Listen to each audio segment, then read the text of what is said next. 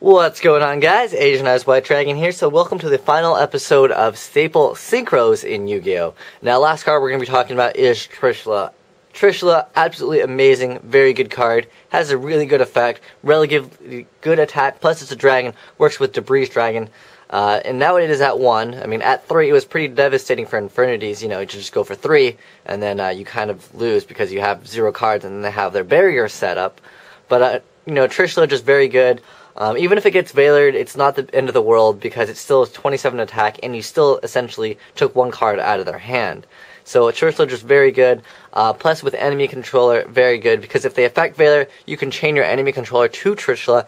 Trishula will then resolve off the field, and uh, you can still remove. And then essentially from that point on, um, they've lost a Veiler already, and then you can still remove three cards. So obviously, very, very good still in that aspect. And in any deck, you really need to be playing Trishula, regardless if you even run tuners or not. Um, maybe you don't run Effect Veiler, um, and you can maybe born your opponent's Effect Veiler, and then you can synchro for Trishula, because when Trishula comes out, it is absolutely devastating. And uh, just some tips, uh, don't go for Trishula when they have, you know, multiple back rows, you know, um, unless you have an answer, maybe like a Seven Tools or a Solemn Judgment because you know after they negate Trishula, you probably use two or three cards to get it out, and then that'll absolutely be devastating for you.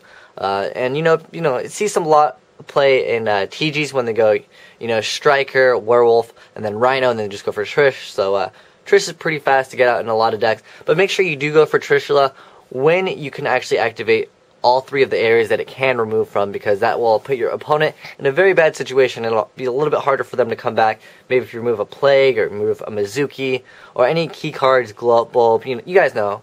Basic cards that combo in the graveyard. So, Trishula, very good. Should be ran in every deck.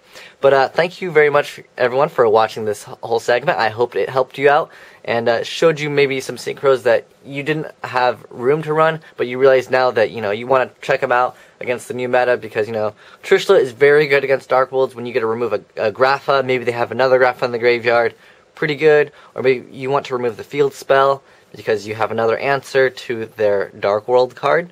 Uh, so Trishula very good in this format. You know, removing those agents, just overall too good of a card not to be running.